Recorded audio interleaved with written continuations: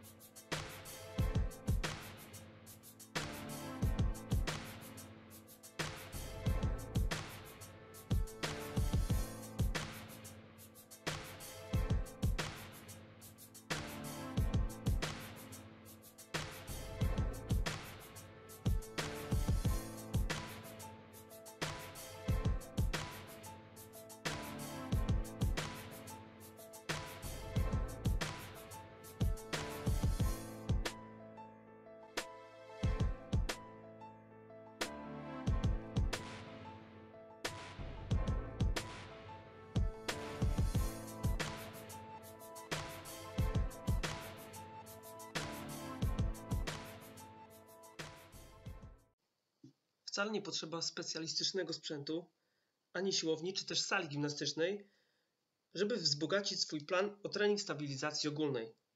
W kilku dosłownie ćwiczeniach Damian pokaże Wam przystępną formę i przystępne metody, abyście potrafili wykonywać takie ćwiczenia samodzielnie.